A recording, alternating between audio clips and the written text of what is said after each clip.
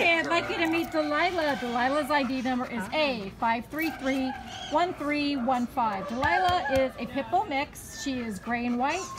Came in um, to the shelter on October 30th, so she has been here way too long. She weighs 68 pounds and she is two years old. Uh, Glenn, what else do you want to say about her? Oh, Delilah's super sweet. She's just so happy to meet everybody. She's definitely a people person. Um, just loves to come up and snuggle. She doesn't matter doesn't matter who you are. She just wants to say hi, um, and she does like to get very friendly. Um, Delilah is right now. We're recommending that she be the only dog in the house. Uh, she's just been a little bit thrown off by some of her neighbors here, some of her loud, nosy neighbors. Um, but she's just great with people. Really easy to walk on a leash too. And housebroken. Poor thing's been holding it. I think the entire time she's been here. Yes, she's been here way too long. Uh, so let's get her out and get her into a loving home that she truly deserves because as you can see, this dog is one of a kind.